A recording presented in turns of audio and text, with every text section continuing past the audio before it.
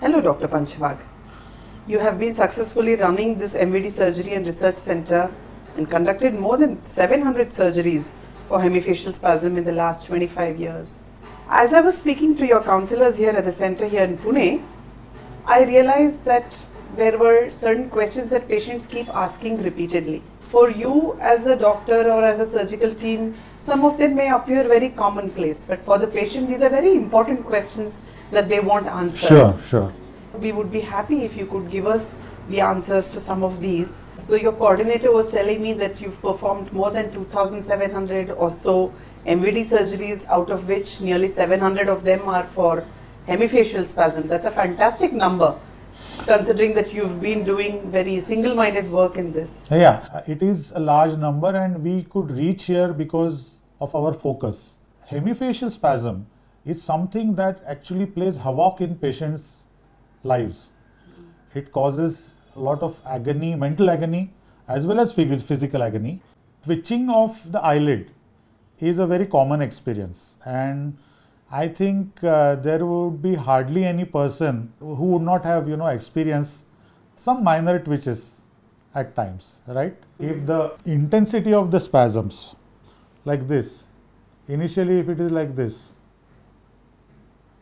like this, and then intensity keeps on increasing. Mm. Also, the amplitude goes on increasing, frequency increases, then it is bothersome.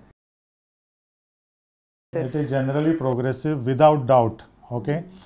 Uh, all the cases of neurovascular conflict like trigeminal neuralgia, hemifacial spasm, glossopharyngeal neuralgia, you will hear anecdotal case that this just vanished.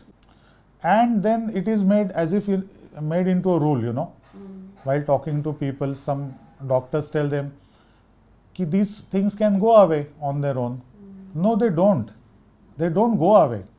It is true that they can go in hibernation. It is called as spasm holiday. There is a word for it if a person has spasms hmm. spasms happen because of the compression of the vessel on the nerve hmm. okay in those cases i am speaking hmm. which are 99% plus. Other rare causes we are not considering at present. When this is happening you know the blood vessel causes demyelination of the nerve. Body initially tries to repair that demyelination and form new myelin sheath on the nerve. So there is repair okay now when body is successful in repairing for some time the spasms go away. And we call this spasm holiday. In case of trigeminal neuralgia, we call this as pain holiday. So it is a holiday from the problem. This holiday can extend for few weeks, months, in some cases one or two years.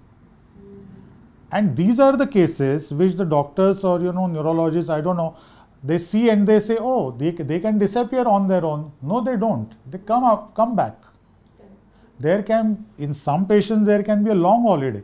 I have met people who had trigeminal neuralgia, then one day it disappeared because body, you know, uh, formed a cover over the nerve and uh, the pain disappeared for nearly six, seven years, but came back and then increased rapidly and we had to operate on him. So don't mistake this holiday for disappearance of this problem. You know why I'm th making this you know point so strongly is that uh, some years back I met a very senior neurologist and he was telling me, you know what, these problems go away on their own. Why treat them? Mm.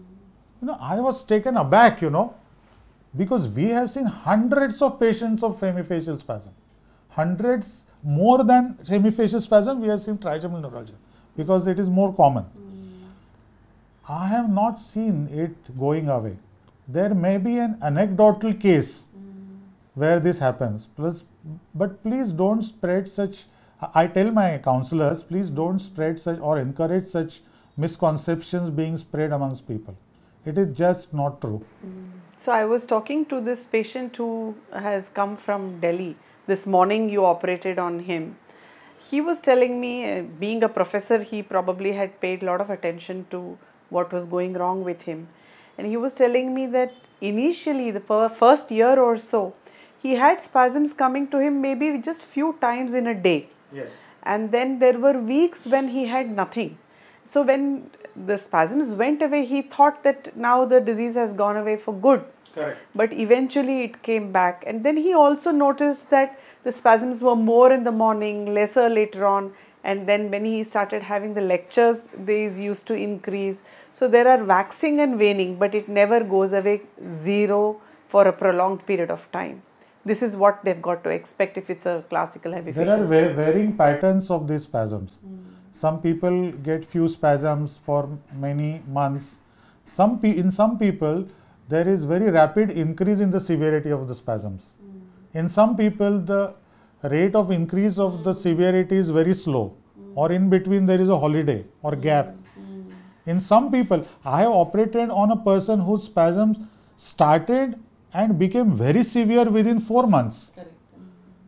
And so this can though it is rare i mean this, this type of you know time pattern is rare but it can happen it can happen so we have seen all these varieties you know over the period of time and but i have not seen spasms going away Going away, yeah.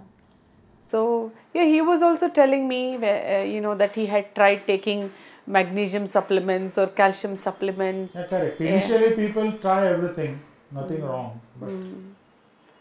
Uh, So naturopathy and all that, but he gave up because he realized within a few weeks itself that none of this was helping him. So he realized that he has to take the next uh, step and decide Correct. about doing something more permanent. correct Correct. Yeah. Thank you. Thank you very much. thank you